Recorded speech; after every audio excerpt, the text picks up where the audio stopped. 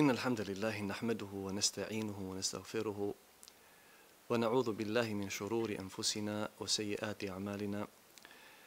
ما يهدي الله فلا مضل له ومن يضلل فلا هادي له وأشهد أن لا إله إلا الله وحده لا شريك له وأشهد أن محمدا عبده ورسوله صلى الله عليه وعلى آله وصحبه وسلم تسليما مزيدا.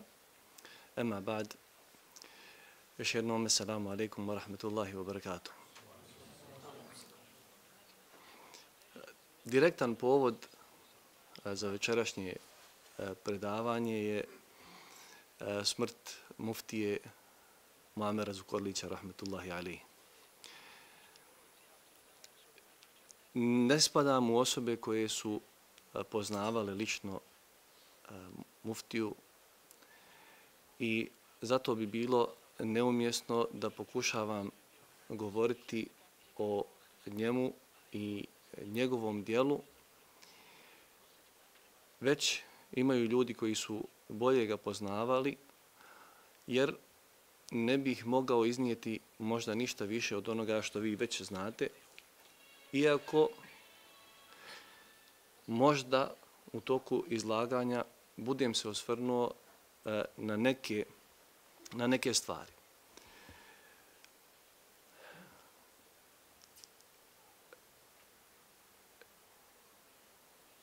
Ibn Mađa i, odnosno Ibn Kathir u svom dijelu El Bidaje u Nihaje navodi da je Ebu Bekr, As-Siddiq radijallahu anhu, govorio ashabima kada vas zadesi neki musibet, nedaća, kada izgubite nekog važnog, dragog, velikog, onda se sjetite ne da će kada je umro Allahu poslanik sallallahu alihi wasallam, pa će vam vaša nedaća biti lakša za podnijet i imat ćete veću nagradu. I nema sumnje da kada govorimo o gubitku velikih ljudi, kada govorimo o nedaćama, da imamo pravo, a na neki način i obavezu, da se prisjetimo smrti Allahovog poslanika, sallallahu alihi wasallam, i onoga što se desilo i kako su ashabi doživjeli to i reagovali na to. Jer kada god jedan džemat, jedan narod, jedna regija, e, jedan skup ljudi izgube onoga koji je njima važan, musibet nije u tome samo što su ostali bez njega, već je musibet u tome kako nastaviti dalje. I zato je važno da znamo i da vidimo kako se kako su se ashabi radi Allahu ta'ala anhum odnosili kada ih je napustio Allahu poslanik sallallahu alaihi ve sellem i otišao svom gospodaru da bismo ne samo znali na nivou naroda ili nivou jednog dijela naroda kako da se odnosimo, već da znamo s jedne strane općenito u takvim situacijama kako da se ponašamo, s druge strane da znamo da ne trebamo biti pogubljeni, već kako da nastavimo, s druge strane primjere koje ćemo navoditi, ne želim da budu samo nešto abstraktno što se odnosi na ashabe i na velikane, već je to nešto što želim da shvatimo da možemo primijeniti u svojoj porodici najprije, u svom džematu, u svojoj mjesnoj zajednici, u svojoj opštini i tako dalje. Jer je Allahu poslanik sallallahu alaihi ve sellem rekao svako od vas je pastir. i svako će biti pitan za svoje stado. Pa je čovjek pastir u svojoj porodici, njegova žena je pastir u njeno, njegovom domu. I svi ćete biti pitani. Pa čovjek vodi svoju porodicu, a njegova supruga vodi dom. I trebaju da znaju šta? Ako čovjek umre, kako žena da se odnosi? Jer pogubi se žena. I šta ako čovjek ostane udovac? Treba da izgubi glavu, da ne zna kako da se ponaša, da rasturi porodicu, da rasturi imetak, ili treba ostati pribran i znati kako da se ponaša. Tako je na nivou džemata, tako je na nivou naroda. Jer, kada je Allahu poslanik, alaihi salatu wasalam, razbolio se, i kada su došle naznake da će Allahu poslanik, sallallahu alaihi wasallam, umrijeti, pa je bio toliko bolestan da bi izgubio svijest. Ne dođe sebi nekoliko sati, pa kada dođe sebi pita šta je bilo, šta se desilo, gdje su mi ashabi, gdje sam ja. Kada su mu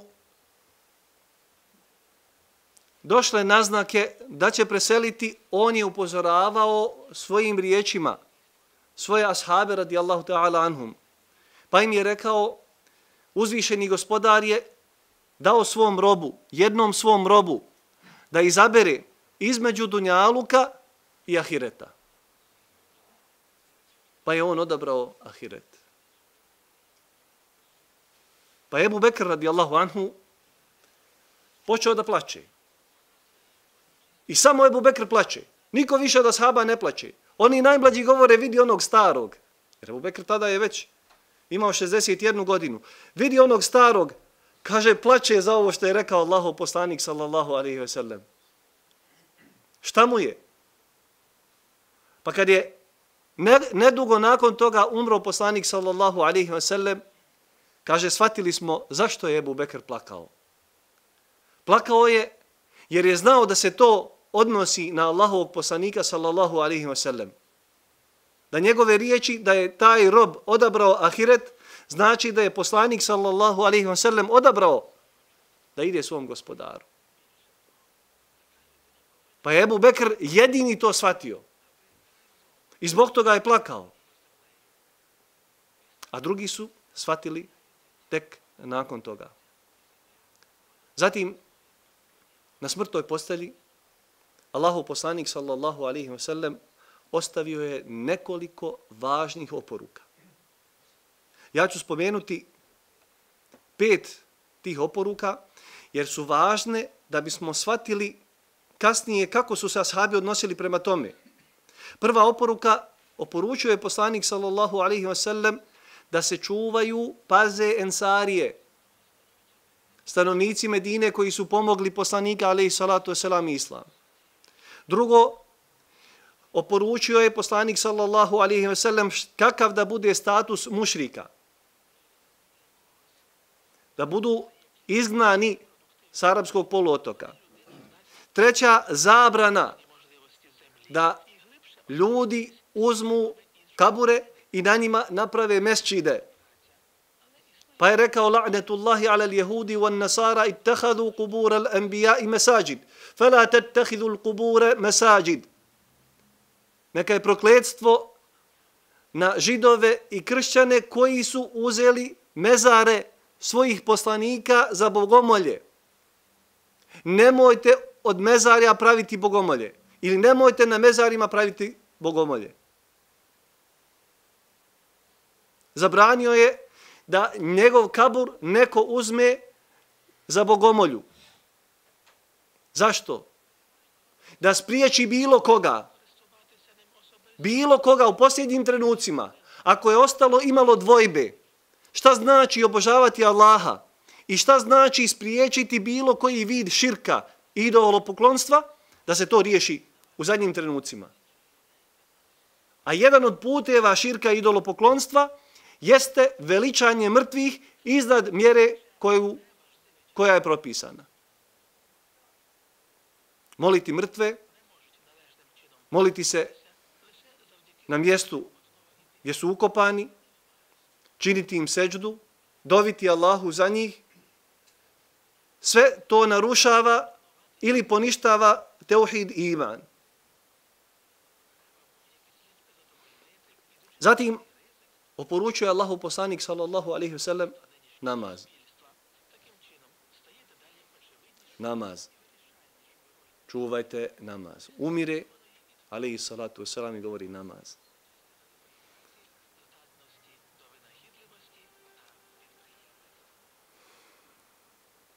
Kome govori namaz? Onima što ne klanjaju. Namaz govori onim ashabima koji su tu, najbliži njemu. Čuvajte namaz. Nemoj slučajno, ako ja umrem, da popustite po pitanju namaza. Namaz je glava vjere. Čuvajte namaz. Šta god da se go dogodi, čuvaj namaz. Zadnje, poslanik sallallahu alihi wa sallam kaže i čuvajte one koji su u vašem posjedu. Spomenuo je ne sve kategorije ljudi, nego najnižu kategoriju ljudi u društvu. Oporučio, pored namaza, da se s njima najbolje obhodi. Nije oporučio svoju djecu. Nije oporučio svoje žene. Nije oporučio neke srednjeg, uvjetno rečeno, ashabe srednjeg staleža, nego one koji su u vašem posjedu. Jer ako znaš da ti se oporučuje onaj s kojim možeš da radiš tako da ga možeš prodati i kupiti. Zamisli onda kako se trebaš odnositi sa onima koji su iznad. Jer ako hoćeš da pokažeš svoju ljudskost, pokazat ćeš je sa onima koji su najugroženiji, sa najugroženijim kategorijama ljudi, a ne sa onima velikanima, sa onima iz srednjeg staleža, sa onima kojima nije musibet.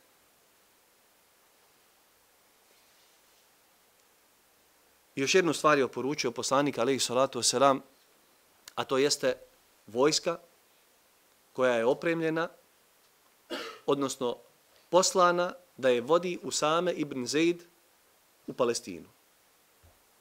A Usame ibn Zaid, mladić, nema ni 20 godina predvodi vojsku u kojoj se nalaze veliki ashabi. I ovdje Allahu poslanik ali salatu wasalam oporučuje ono što se tiče vjerovanja, oporučuje ono što se tiče ibadeta, oporučuje ono što se tiče odnosa prema nemuslimanima, oporučuje ono što se tiče odnosa prema posebnim muslimanima koji su zaslužni posebno za doprinos islamu oporučio je odnos prema najnižim slojevima društva. I oporučio je da se nastavi sa onim što bi bila vojna akcija koja je bila začeta za njegovog života.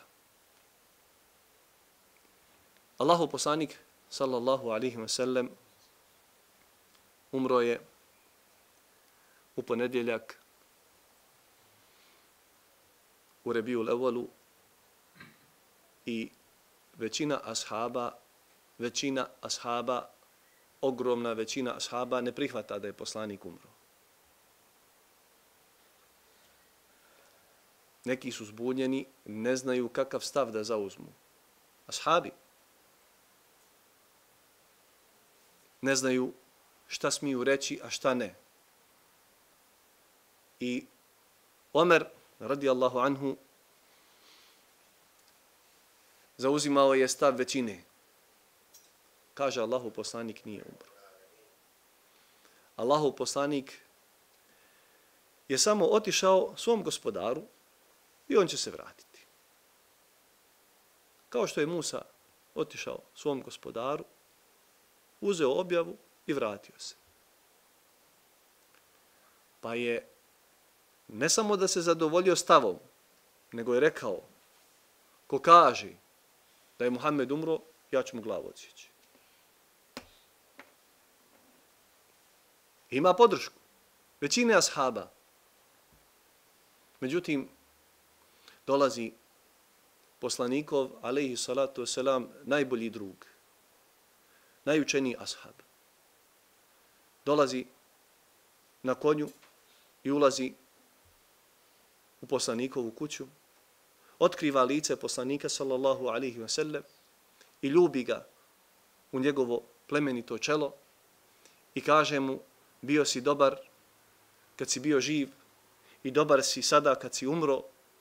Pa je Ebu Bekr radijallahu anhu bez ikakve buke izašao i čuo je šta se u džami poslanikovoj priča za poslanika sallallahu alihi wasallam, ali ništa nije rekao, već se popeo na mimber i održao je poznatu, poznati govor, poznatu hutbu, kada je rekao ko je obožavao Muhammeda, Muhammed je umro. A ko je obožavao Allaha, Allah je živ i ne umire. Pa je proučio ajet وَمَا مُحَمَّدٌ إِلَّا رَسُولٌ قَدْ خَلَتْ مِنْ قَبْلِهِ الرُّسُولُ Muhammed nije ništa drugo osim poslanik. I prije njega su bili poslanici. Efe imate u kutilen kalebtum ala aqabikum. Zar ako on umre ili ubijen bude, da se vi vratite svojim prijašnjim stopama. Pa je tada Omer priznao, shvatio istinu. Shvatio je da je završeno sa životom Allahovog poslanika sallallahu alaihi wa sallam. Pa Ebu Bekr bio izrazito sta, staložen, izrazito smiren, mudar, odabrao prave riječi, prave postupke, kako da situaciju stavi na pravo mjesto. Pa su ashabi kao da su prvi put čuli ovaj ajet. Ovaj ajet je značio poslanik je umro, ali ono sa čim je poslan poslanik, ono što je vjera s kojom ga je Allah poslao, to još uvijek je tu. To ne umire. I to će se nastaviti. Ko je to radio samo zato što je Muhammed Ali salatu selam živ, on sad može da mijenja kurs. A ko je bio iskren i dosljedan, on će nastaviti ići, ići onim kursem kojim je išao dok je slijedio Muhammeda Ali salatu selam za njegovog života. To je bilo prvo pitanje koje je Ebu Bekr riješio. Prije nego što je ukopan Allahov poslanik alejhi salatu wasalam, kad su shvatili da je umro pitanje bilo gdje da se ukopa poslanik i opet se razilaze ashabi jedni kažu ovako drugi kažu onako dok nije došao Ebu Bekr pa je rekao čuo sam Allahu poslanika sallallahu alihi wasallam, da je rekao poslanik kada umre ukopava se na mjestu gdje je umro pa je bilo riješeno ponovo sa argumentom U prvom slučaju je bio manjina. Sa argumentom i prihvatili su. Sa dokazom. U drugom slučaju bio manjina. Sa argumentom i prihvatili su. Jer ono što je potrebno bilo je znanje. I bio je stav. I bilo je način kako da poduči se i kako da se riješi teška situacija.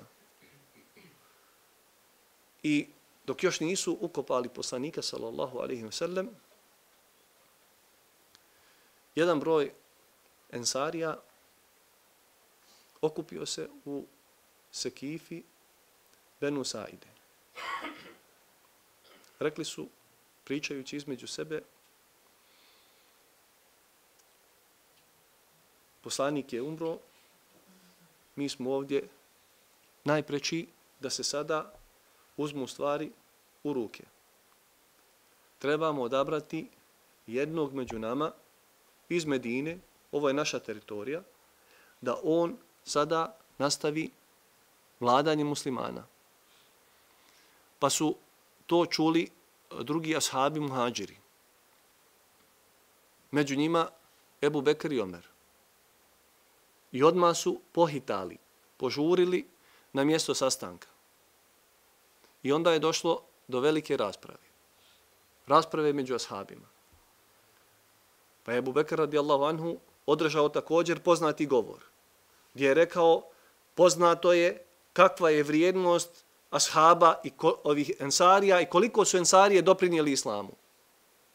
Ali poslanik sallallahu alaihi wasallam je rekao da ova stvar treba biti u rukama Kurejšija, Kurejševića. Pa su predložili, dao ovaj je prijedlog da ljudi daju prisegu jednom od dvojice, Ebu Ubejdi ili Omeru, pa je Omer ustao i prvi dao prisegu Ebu Bekru i onda su svi pristali na to da se Ebu Bekr, da Ebu Bekr bude, bude halifa. Pa je treću krizu Ebu Bekr riješio sa znanjem, odlučnošću, hrabrošću i mudrošću. I ne možemo se oteti dojmu, ne možemo zanemariti da je ovdje pitanje uređenja vlasti rješavano prije pitanja ukopavanja poslanika sallallahu alaihi wa sallam. Prvo da se riješi. Jer ako nema vlasti, ako nastane bezvlašće, nestaju životi, uništavaju se i meci i uništava se čast ljudi. Nastaje haos. I zato rečeno je, kako kaže šehhul Islam ibn Tejmije, bolje je 60 godina sa nepravednim vladarom nego jedan dan bez vladara. Bolje je 60 godina sa nepravednim vladarom nego samo jedan dan bez vlasti.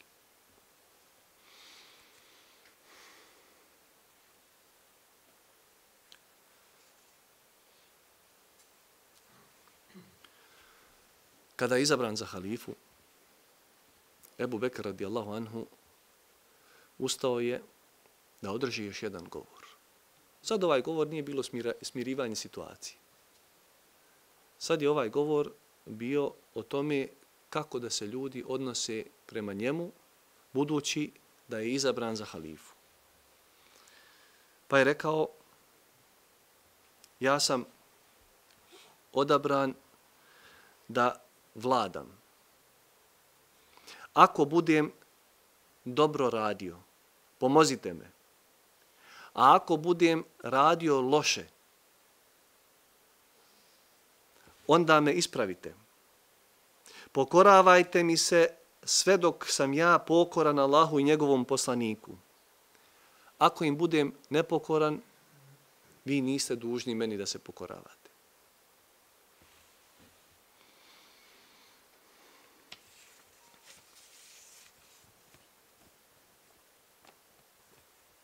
Čovjek hoće da ga žena sluša u kući. Hoće dijete da ga sluša.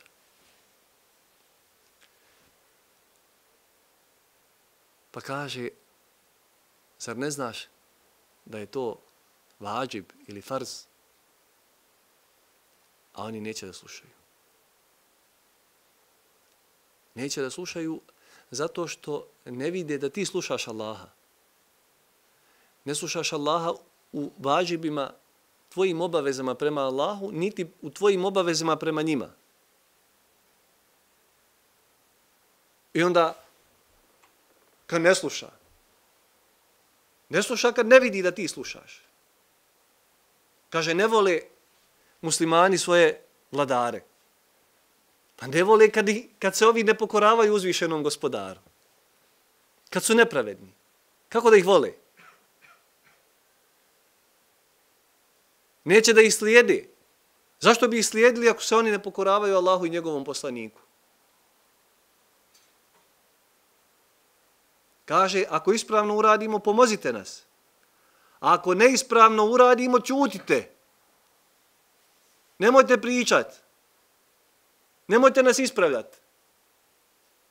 I ti progovoriš kaže, ne možeš više držati hutbe. Pa kad su sklonili ulemu sa Mimbera, ulema preko televizije. Pa srede da ne mogu preko televizije. Pa narod voli ulemu. Voli istinu. Pa preko društvenih mreža. Pa pošto nemaju ključeve u rukama od društvenih mreža, kažu ne, moj, ne možemo ih zaustaviti osim da ih zatvorimo, zatvor. Zatvor. Je li pozivao na pobunu? Nije. Je li pozivao na ubijanje? Nije. Čemu je pozivao? Pozivao istini i pravdi. I pozivao lijepom načinu da se do vlasti poruka dostavi šta trebaju popraviti. Ne samo da su bili glas istine, nego su bili i glas naroda. I zato ih je narod volio. Ali narod često okrene lijeđa svojim učenjima.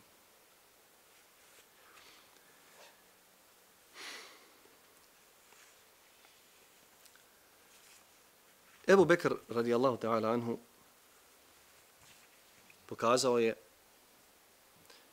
kako djelovati u kriznoj situaciji. A najveća kriza došla je tek nakon što je on postao halifa. A to je da je veliki broj muslimana do tada muslimana odmetnuo se. Odmetnuo se. Beduini koji su tek bili prihvatili islam, dosta arapskih plemena koje su tek ušli pod krilo islama, otkazali su poslušnost Ebu Bekru i rekli su ne moramo mi više da slušamo drugog. Pošto nema Muhammeda, mi smo sa njim. Njemu smo davali prisegu. Njega smo slijedili, slušali. Nismo se obavezali za nekog drugog. Nastaje kriza. Šta treba da se radi? Kažu, poslanik je poslao u samu i njegovu vojsku, vraća ih. Zašto? Sad će nas svi napasti. Sa svih strana će doći napadi. Nas je malo u Medini. Nema nas puno. Ako nam dođu sa svih strana, nemamo čak ni poslanika.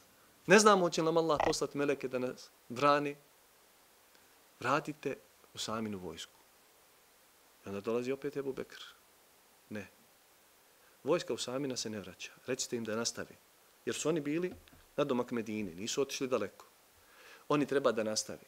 Strateški. Strateški Ebu Bekr znao šta znači taj potez. Ako vojsku koju je poslanik alaih Salatu Selam opremio i odabrao, vratiš. Prvo nisi poslušan poslaniku alaih Salatu Selam, jedna greška. Drugo, pokazuješ da se bojiš.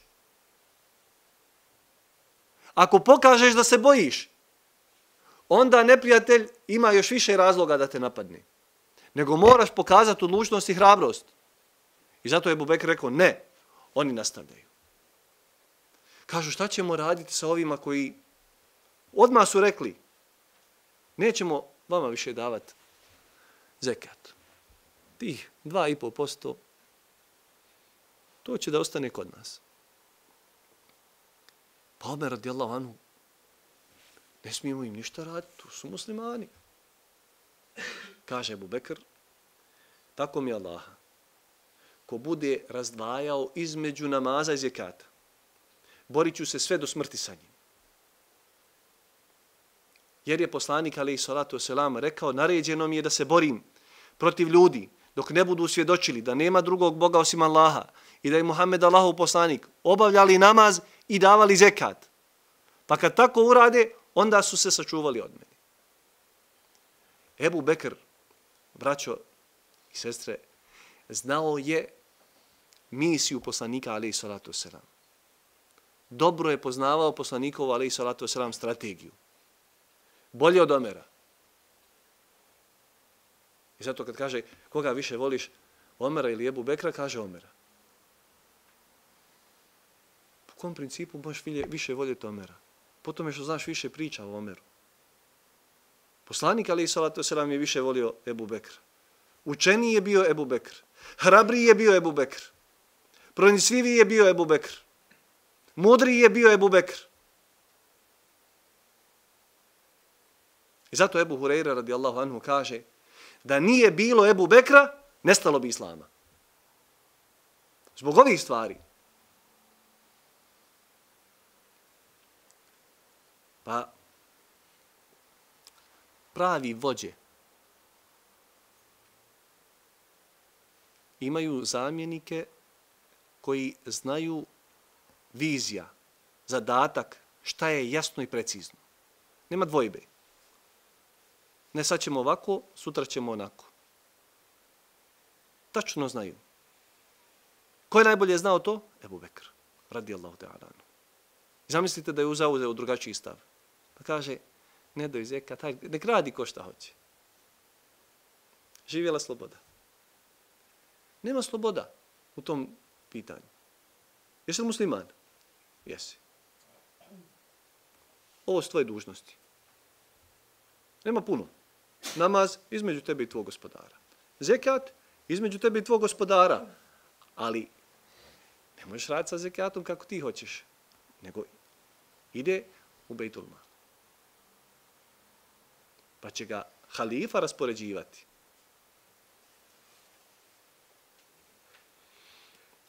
Pa je Ebu Bekr radijallahu ta'ala anhu pokazao kako treba smiriti se kriza kada se desi velika nedaća. Kada ljudi otkažu poslušnost, kada ljudi sumnjaju u vrijednosti, kada ljudi ne, vidu, ne vide viziju, izgube iz vida viziju, kada su ljudi vezani za ličnost, a ne za ono što je poruka, ono što je poslanica sa kojom je poslan Allahov poslanik, ali i salatu wasalam. I zato, zato učenjaci kažu, ashabi radijallahu ta'ala anhum nisu uspjeli nisu uspjeli u misiji prenošenja islama zato što je među njima bio Allahov poslanik nego su uspjeli u misiji prenošenja islama zato što su čvrsto vjerovali u Allaha i čvrsto su vjerovali u ono što je Allahov poslanik alejhi salatu vesselam im prenio. Dokaz da je tako jeste kada je Allahu poslanik alaihi salatu wasalam umro, ashabi nisu stali, nego su oni prednijeli islam od Endelusa do Indonezije i Kine. I od vremena ashaba radijallahu anhum, za tih 50 godina, do dan danas, to su ti otprilike granice islamskog svijeta na istoku i na zapadu. Ako izuzmemo osmanlijska osvajanja i neka druga. Ali to su udarili zato što su vjerovali duboko u svoju misiju. A njihova misija bila da nastave sa istim onim sa čim je poslao Allahu poslanik alaihi salatu wasalam bez imalo kolebanja. I zato kada izgubimo nekog velikog. Kada desi se nedaća u porodici, u džematu, u narodu, trebamo da znamo šta je naša misija. Ako je žena ostala udovica, treba nastaviti odgajati dijete kako, se, kako, je, kako ga je odgajala sa svojim čovjekom. A ne, nema ga, sad ću ja po svome kada nestane neki alim, nećemo stati i plakat za njim. I hajmo samo plakat. Nego idemo njegovim stopama. Boriti se za istinu. Boriti se za pravdu. Boriti se da ljudi spoznaju istinu.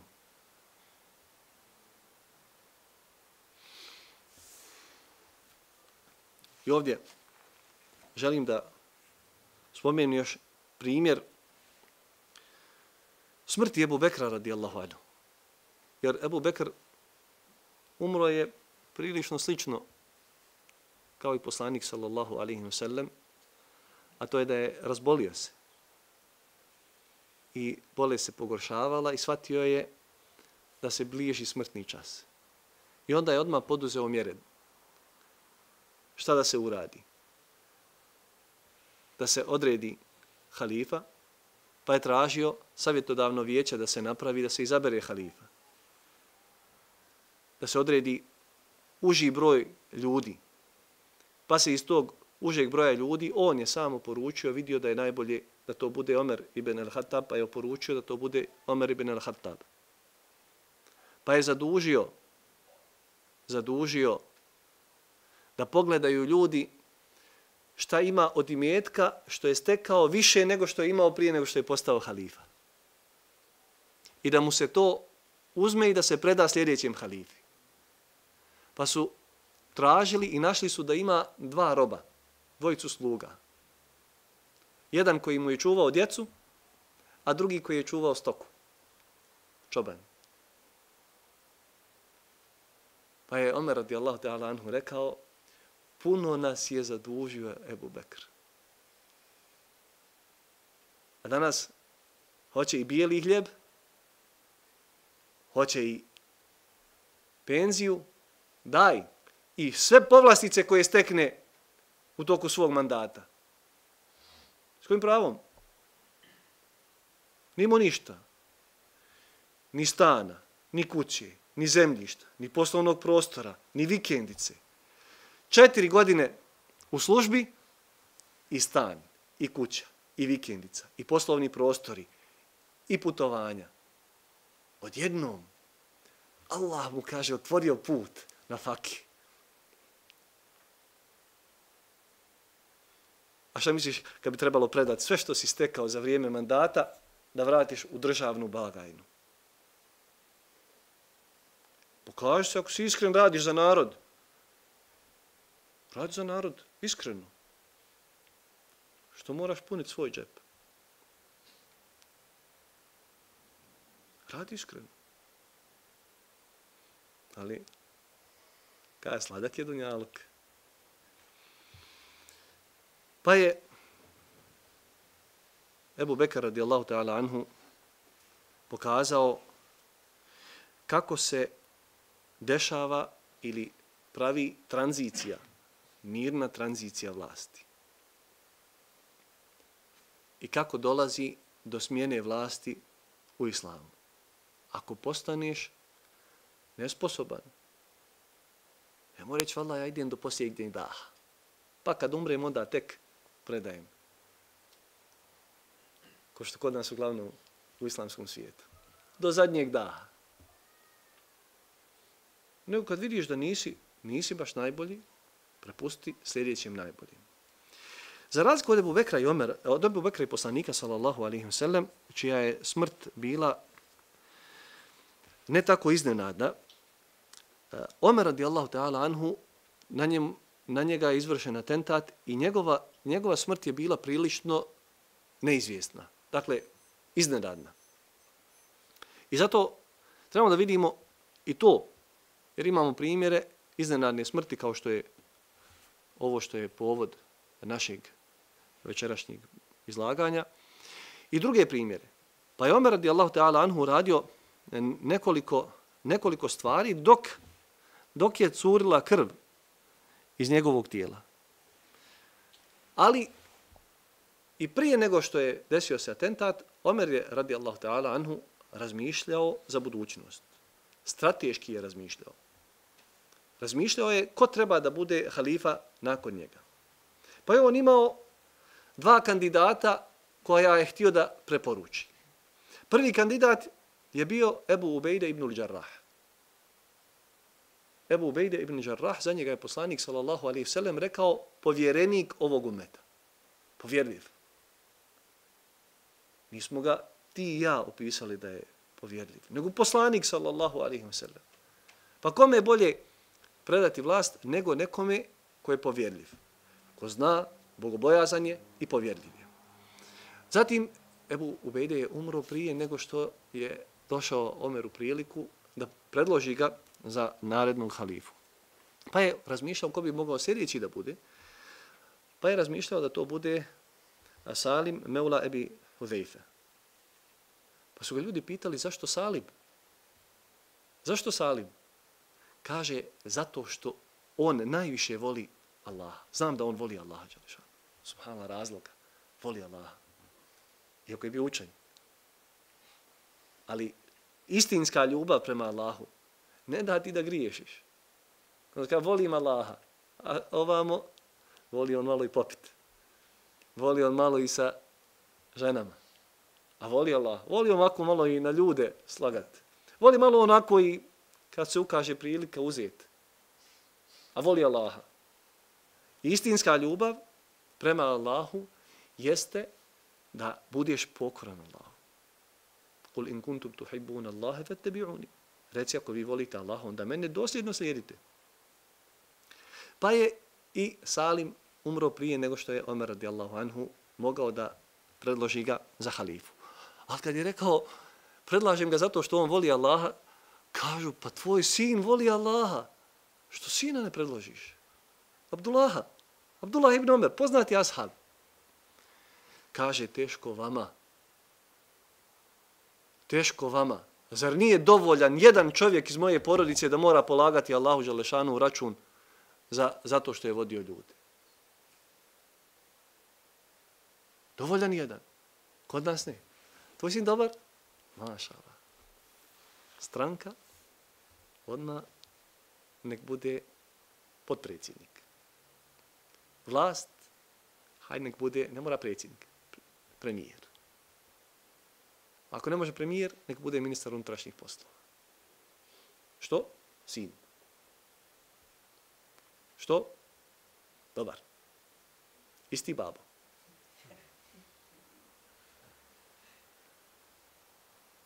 I onda kaže, ne, ne, ja, ja to samo zbog, za dobro naroda. Za dobro državi. A na sudnjem danu, kome ćeš odgovarati? Ima računa i računa da se polaže na sudnjem danu. I zato, zato je vlast kajanje na sudnjem danu. Ti ne možeš nekad prema djeci da budeš pravedan. Imaš nekoliko djece, dvoje, troje, četvor. Gledaš da budeš pravedan. Pa ne budeš pravedan. A zamisli kad imaš na vratu hiljade ljudi, a zamisli kada imaš stotine hiljada, a zamisli kada imaš milione. Za svakog si odgovoran. Za svakog si odgovoran. A kaže, daj meni vlast. Niš ti vlast, ti hoćeš pare. Tebe vlast ne zanima. Njega zanimaju pare. Da on može iskoristiti tu vlast za lične potrebe. Jer da mu je stalo do istine i da je dovoljno odgovoran, bježao bi od vlasti. A ne bi trčao, ne bi trčao za vlašću. Pa je Omer radijallahu ta'ala anhu dao oporučiti ili oporučuje da se izabere jedan od šestorice za halifu, da ljudi izaberu ili da izabere se između Osmana radijallahu anhu, Alije, Talhe, Zubeira i Abdurrahmana ibn Aufa i Sada ibn Abi Waqqasa radijallahu ta'ala anhu, pa su oni odabrali da to bude Osman.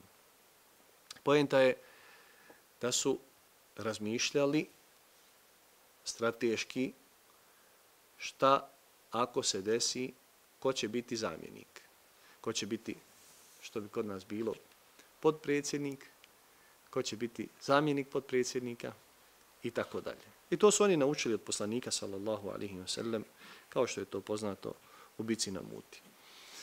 Na kraju, braćo, Eh, želim da spomenem i sestre eh, svojstva jednog vođe. Kao što rekao na početku, ova svojstva ili osobine jesu ono čime se treba okititi svaki mu'min i mu'minka ali koji naročito trebaju da budu istaknuti kod eh, onoga koje vođa.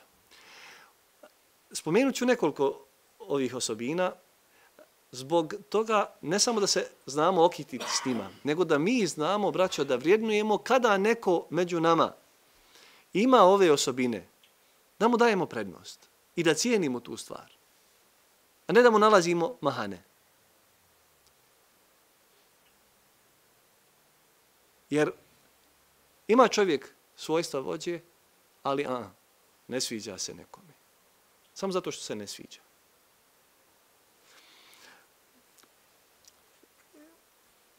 Ovdje sam izdvojio šest svojstva. A prvo je pokornost Allahu. Vođa koji nama treba u džematu, u kući, na nivou naroda, na nivou države, jeste osoba koja je pokorna uzvišenom Allahu.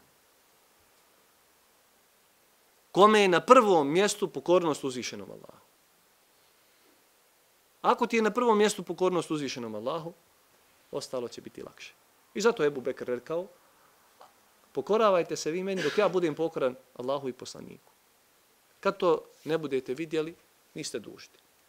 Kod nas nije bitno šta vidiš, bitno samo da slušaš. Mnogo je važno da osoba koja je lider, vođa, bude pokoran uzvišenom Allahu i njegovom poslaniku. Da, da ne čini grijehe, harame. Ovo važi, kao što rekao, za vođenje doma, za vođenje posla, za vođenje džemata, od džemata do džematskog odbora, pa do međlisa, pa od međlisa do muftijstva, od muftijstva do rijaseta. Ili, ako hoćeš, mjesna zajednica, opština, od opštine do kantona, od kantona, dalje. Prva stvar, prva osobina je bogobojazno, pokornost uzvišenom Allahu. Druga stvar, lijep ahlak, lijepo ponašanje. Kad kažemo lijep ahlak, to ne znači samo da se čovjek lijepo nasmije kad s nekim razgovara, iako je to lijepo, fino, potrebno, nego da čovjek bude staložen, smiren, da bude lijepog od obhođenja sa muslimanima i sa nemuslimanima. Sa prijateljima i sa neprijateljima. Lijepo se obhodi. Jer kod nas imamo slučajeve sješće ako treba sa popom i sa fratrom, ali ne daj Bože da sjedne s nekim čija se brada razlikuje od njegove. Pravedan prema nemuslimanima, a prema muslimanima kao da nije bitno. I prema jednima i prema drugima. I prema prijateljima i prema neprijateljima. Pravedan biti prema neprijateljima? Da. Pravedan prema neprijateljima. To je taj islamski ahlak. Kao oni su naši neprijatelji, ruši, gazi. Ne, ne, ne. Samo pravedno. Sa svima pravedno. Jer kome god učiniš nepravdu, pa makar ti neprijatelj bio, on ako Allahu zamoli protiv tebe, njegova se dova prima. Pa teško se tebi od dove mazluma. Zato nemoj ni neprijatelju nepravdu učiniti. Bori se protiv njega. Civilizacijski je da se boriš protiv neprijatelja. Civilizacijski je da se muslimani bore protiv onoga ko se bori protiv njih. Ali pravedno. Pravedno. Bez zločina. Bez zločina. Ni ratnih, ni bilo kojih drugih. Zatim, hrabrost. Ne može vođa biti kukavica. Tebe žena kad vidi da si kukavica, kaže, vala, što sam se udala za tebi? Moraš biti hrabar. Ne znači da galamiš, da podižeš glasa, da budeš hrabar. Budiš hrabriji od svoje žene. Iako dosta žena zna biti hrabriji od, od svojih muževa. Nešto kucne, ona prva izleti, on se kaže, hajde vidi ti šta je ono.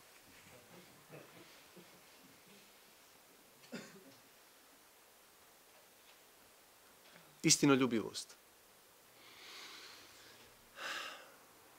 Govori istinu, ali isto tako prihvata istinu. Nekom kaže, pogriješio si. Ako istinu ljubiv, on kaže, jesam. Prihvata. Popravit ću se. Ljudi smo, griješimo. Ako nije istinu ljubiv, ne prihvata da je pogriješio. Nema. To ni, mi nismo pogriješili. Mi vodimo ovakvu strategiju već 15 godina, 20 godina, 50 godina. Ovo je naša strategija. Pa ne radi. Ne pali ta strategija. Promijeni malo za jedan stepen lijevo ili desno kurs promijeni. Ne, ne. Vi ste naši neprijatelji. Ne volite nas. Istinoljubivost jeste da kritika koja dođe, drago ti je da dobiješ kritiku.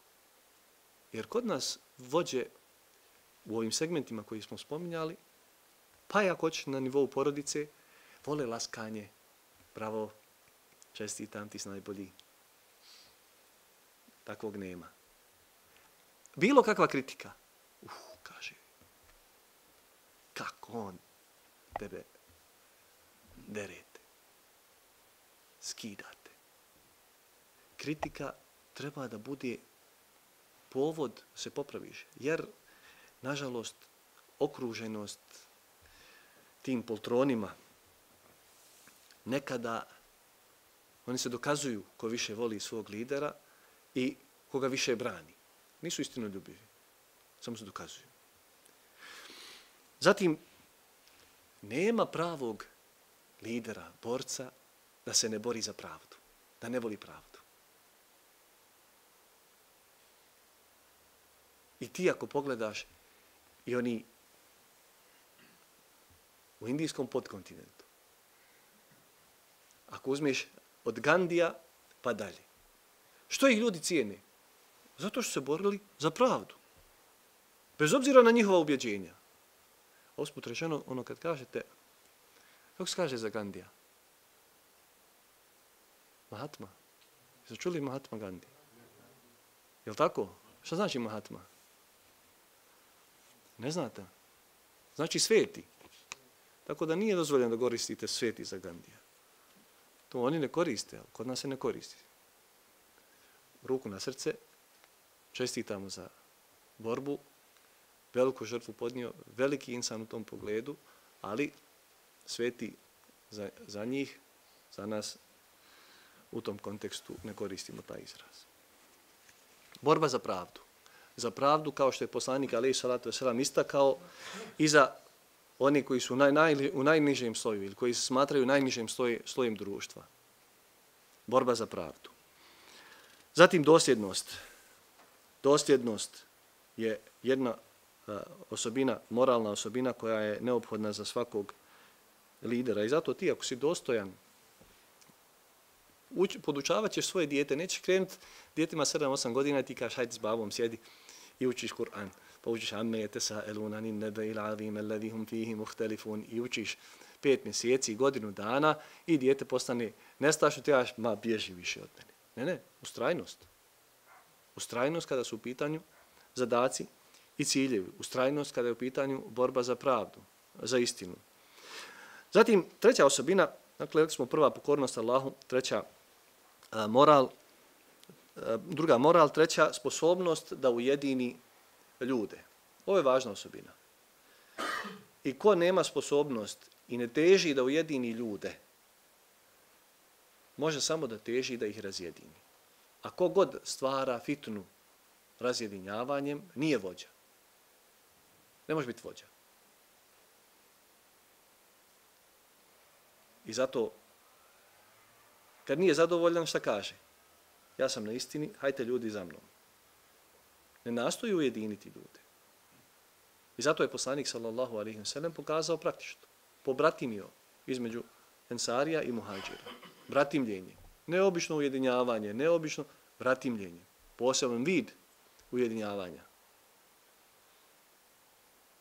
i traži načine da, da, da se ujedine, naročito muslimani. Imaju zajednički principi, načela islama. Oko njih nema razlike. Nema neko da je rekao, vala nije dužnost, možeš vjerovati u Allaha i u onaj svijet, ali nemoj u meleke. Nemoj to.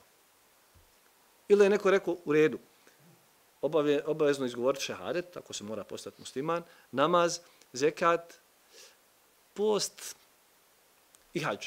Nema, nema neko da je rekao jedan od tih stvari, jedna od tih stvari ne mora.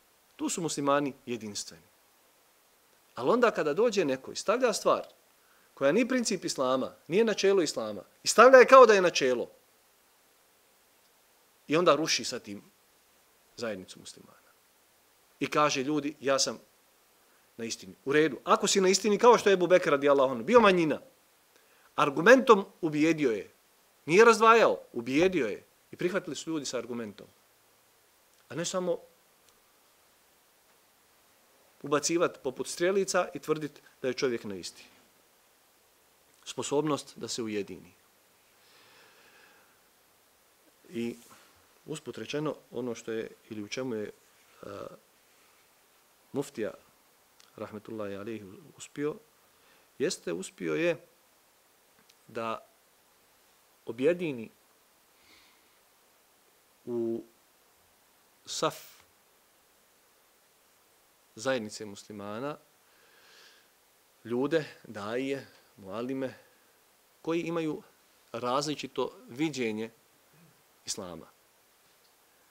Što bi rekli, nisu svi bili na istom menedžu. A su svi zajedno radili za islam. I svi su zajedno radili za pravdu. I ko misli da može zajedno da se radi ili da se prvo trebaju svi očistiti biti akide selefu saliha ili akide ove ili one frakcije pa tek onda da dođe do ujedinjenja, on kao da se kao da nije prošao hiljadu i evo nećemo reći 400, ali hiljadu i 300 godina od, od, od, od pojave prvih devijacija u akidi kao da se nije, nije, kao da ništa toga nije bilo.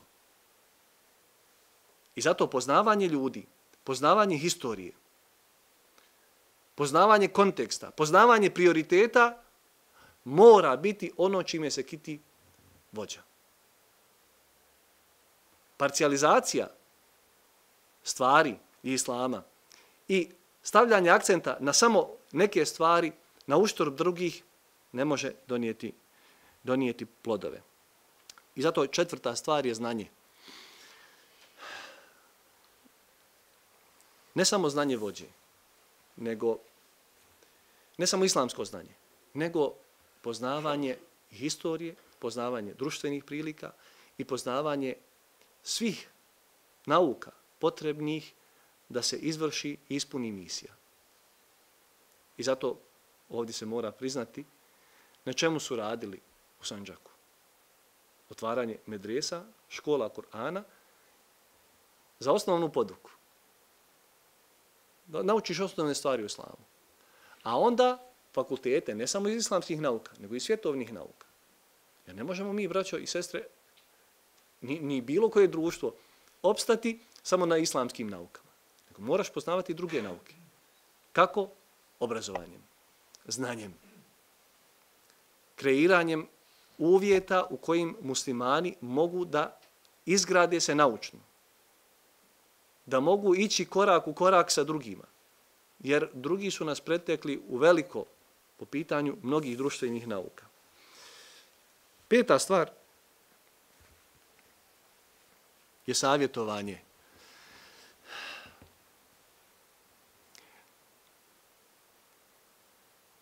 autokrate i oni imaju savjetnike. Ali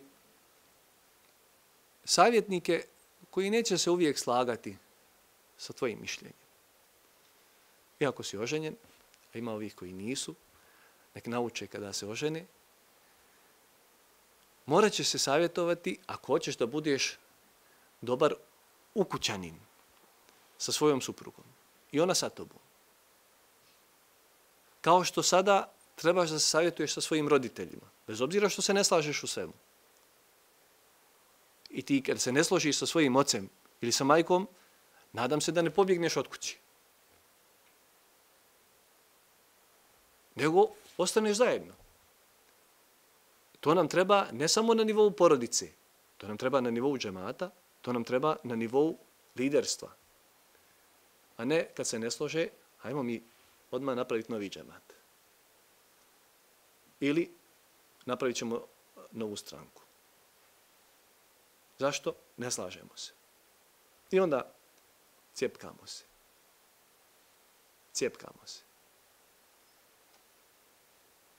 Lider odabire, on odabire sebi ne samo one koji će mu klimati glavom, već i one koji će mu se suprotstavljati. Koji će mu reći, stani, tu je pogrešno. I tako je radio Allahu poslanik, ali i salatu osiram, i tako je Ebu Bekr rekao ljudima, ako pogriješim, ispravite me. Poslanik, Ali salatu Selam, iako je pobognut objavom i melecima i pripreman i najčistiji, dođe mu ashab, kaže Allahu poslaniče, jel tebi Allah, kao na Bedru na primjer, jel tebi Allah naredio da mi budemo ovdje? Kaže poslanik, Ali salatu Selam nije. Kaže, jel objavom određeno? Kaže, poslanik Ali Salatu Selam nije. Kaže, ne onda da budemo ovdje. Hajmo tamo se skloniti. Pa su dobili bitku na Bedru. Na Hendeku, poslanik Ali Salatu Selam očekuje ogromnu vojsku. Strašan napad na Medinu. Kaže mu Selman, Allahov poslaniče, ja sam vidio u Perziji, iskopa se rov. Da iskopamo rov. Pa poslanik Ali Salatu Selam pri, prihvata. Nije se uvijek očekivala inicijativa od poslanika Ali salatu Selam. Nego je poslanik Ali salatu Selam prihvatao inicijativu drugih ljudi. Ne samo velikih ashaba, ne samo poznati ashaba, nego i drugih.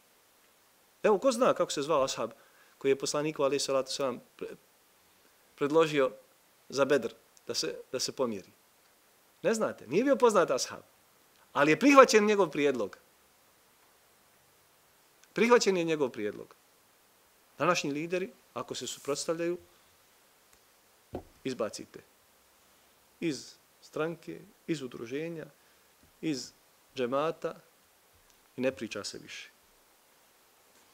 Šesta i posljednja stvar jeste jasan cilj i vizija. Ako je cilj jasan i ako postoji vizija, onda šta god da se desi od nedaća. Radit će se na toj viziji i radit će se da se ostvari cilj. Ako nema vizije, ako nema cilja, ne zna se cilj. Lijepo nam, idemo ovako, fino nam, dok nam je fino, idemo, kad nam zagusti, prestanemo, zasitimo se, umorimo se, nećemo više raditi. Ako čovjek ima cilj, onda radi na tom cilju. On mora biti jasan. Kome jasan? Naročito liderima i onima koji su oko lidera. A onda oni tu priču pričaju drugim ljudima. Očuvanje vjere, očuvanje identiteta, pravda, očuvanje domovine, očuvanje časti, naše omladine, naših sestara, davanje ljudima da žive dostojanstveno, kreiranje prilika ekonomskih, društvenih i drugih da ljudi mogu dostojanstveno da žive, da ne moraju prvom prilikom ići u Deutschland. Ciljevi moraju biti jasni. Kada budu jasni? Kada ljudi vide i da su jasni. Onda će ljudi objeručke da pomažu i rade za taj cilj. Dogod ima sumnje, dvojbe, je li taj cilj opšte dobro ili za ličnu za lično dobro. Znači imaš korist ti i uži krug ljudi. A mi šta nam bude? Šta ostane? Dok god postoji dvojba, ljudi neće slijediti vođe. I zato šta vidiš? Pozicija, nagomilano bogatstvo i bogatstvo ljudi okolo i kaže mi se borimo. Mi vodimo. A ljudi ne vjeruju. Zašto ne vjeruju? Zato što jedno je priča, a drugo je dijelo. I onda ljudi ne mogu da vjeruju. Cilj mora biti jasan. I ovako je, braćo i sestre, na nivou, kao što rekao, a, a, džemata i na nivou, na nivou naroda, a ovo su zasigurno osobine sa kojima treba da se okiti svaki musliman i muslimanka, bez obzira na kojem se mjestu u društvu nalazili i oni koji su više okićeni ovim osobinama zaslužuju da ih guramo ispred i zaslužuju našu podršku i zaslužuju da zajedno sa njima radimo na ostvarenju onoga što je opće korist ili opća korist, cilj koji je za opštu korist ili opću korist, a ne lično i ne parcijalno. Molim Allah Đelešanu da se smiluje svima nama, e, da se smiluje e, našim merhumima, naročito našim velikim e, merhumima, e, velikim ljudima iz našeg naroda i ranije i da mi budemo od onih koji će znati ne samo da iskoriste plodove njihovog rada, nego da nastave do cilja kojem su oni težili, pa makar došlo malo do promjene kursa zbog okolnosti. Jer jedna od stvari koja je problem jeste da se ljudi zadrže na historijskim ličnostima i njihovim programima i samo to guraju. Kao što je to problem u islamskom svijetu. Sada da ne imenujem, veliki imami od prije 50 ili 60 godina iz arapskog svijeta ili iz indijskog podkontinenta ili odnekle drugo koji su imali i uradili velike stvari. Ali ljudi se vežu za, za tadašnje vrijeme i tadašnju retoriku, tadašnji narativ i rade i sada ako ima bilo kakva kritika kaže vi ne volite našeg imama. Nije tačno. Tako mi je Allah. Volimo i molimo Allaha Želešanu da i nagradi. I vjerujemo da su neki bili obnovitelji vjere u, ovom, u, u, u posljednjih sto godina. Ali moramo napraviti dalje. Ono što je određeno islamom, tu nema promjene. Ono što je određeno, nema promjene. Ono što nije određeno, tu moraju da postoje promjene. Mora se tražiti najbolje moguće rješenje. Molim Allah Želešanu da nam se svima smiluje, da poveća e, našu ljubav prema našim učenim, prema našim e, velikanima i predvodnicima, prije svega prema poslaniku sallallahu alaihi wa sallam, onda sa i svima onima koji su slijedili njegov put. Amin ja rabbel alemin. subhanaka wa bihamdika, šadun la ilaha ila anta. Stakfiruke rabbi wa atubu ilaik.